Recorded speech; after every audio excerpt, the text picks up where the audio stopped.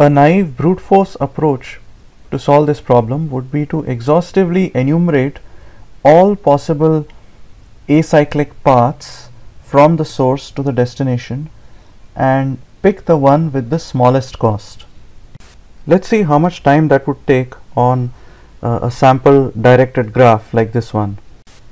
I have omitted out the weights from the edges because I just want to make the point that there will be an exponential number of paths if we actually try to count how many paths there are. So it doesn't matter what the weights are if we have an exponential number of paths to enumerate uh, this is not going to be a practical solution on even moderately sized inputs. So when we start from the source here any path could either uh, choose to go up or to go down. In either case sooner or later we'll converge um, at this vertex and then again we face the choice of whether to go up next or whether to go down next. So at each of these yellow nodes here we face this choice of whether to go up next or whether to go down next. So if the number of nodes in this graph, the number of vertices in this graph was n, I can cluster together all the vertices in successive groups of three like this. This is the first group. These are the first three vertices in the first group. The next three vertices go into the second group. The next three vertices go in the third group and so on.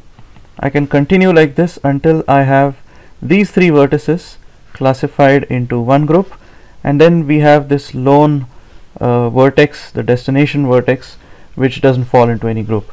So if we group together the vertices like that, we can see that the total number of vertices is going to be that lone vertex at the end 1 plus uh, some number which is going to be a multiple of 3 because we have 3 nodes otherwise classified into each cluster.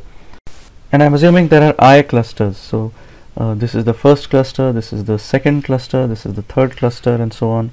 And this is the ith cluster.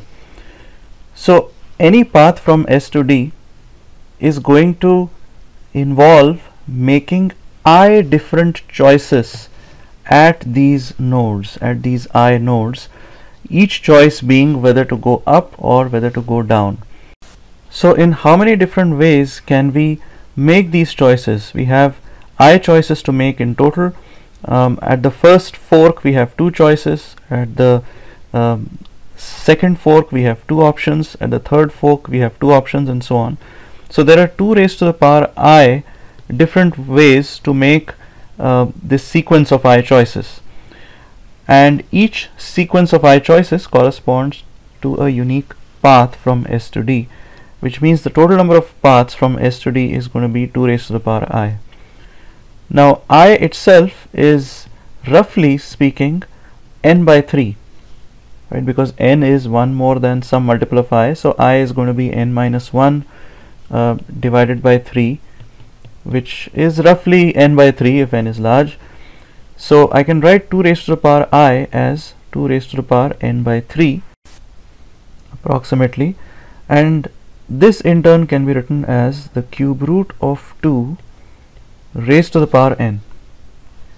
Now the cube root of 2 is a number that's uh, more than 1, it lies between 1 and 2 and so whatever this number is it's clearly exponential in n. So if we try to follow this approach of enumerating all the different acyclical paths from S to D, we are going to end up enumerating an exponential number of paths. So basically we get a combinatorial explosion if we follow this uh, naive exhaustive enumeration approach. Now this should remind you of the combinatorial enumeration problems that you must have done earlier. Notice that any path from S to D is really a permutation of vertices which starts at S and ends at D. So uh, this approach is really a combinatorial enumeration approach where we are enumerating all the different permutations of vertices which start from S and end at D but which may or may not include all the vertices. And our goal is to pick that particular permutation that specific path from S to D whose total cost is minimum.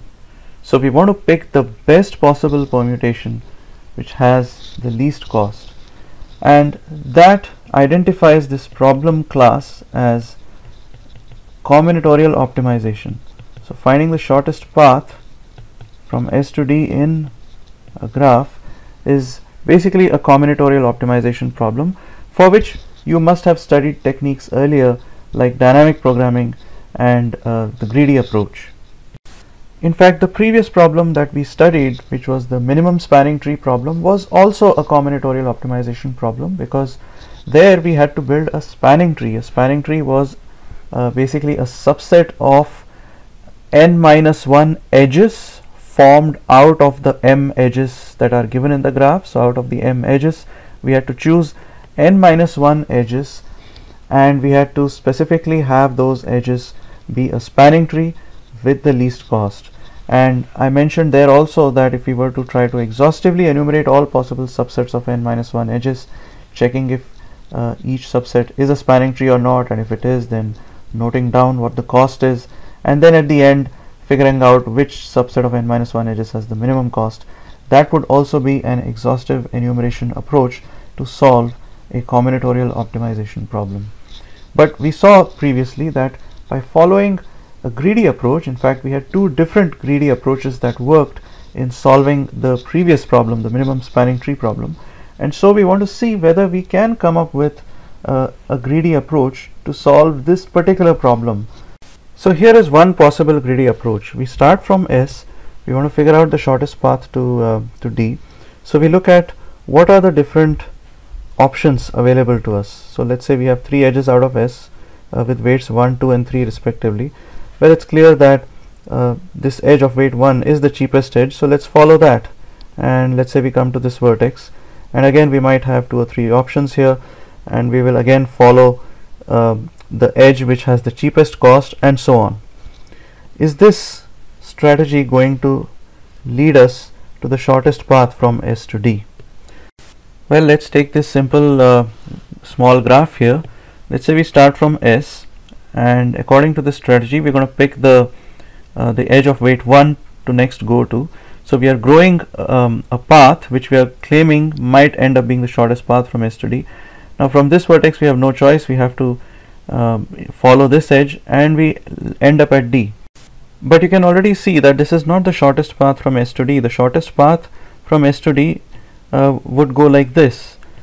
And notice that the very first step the shortest path took was to follow an edge that was uh, more expensive than the edge that we followed. So it's not necessary that at each step we have to uh, pick the cheapest edge to elongate the path. In fact it's possible that the cheapest edge out of S might be a dead end it may not even lead anywhere maybe D lies somewhere over here and this edge had a weight 1 this edge had a weight 5 if we followed the greedy strategy we would end up at a dead end so clearly the, this particular greedy strategy is not going to work.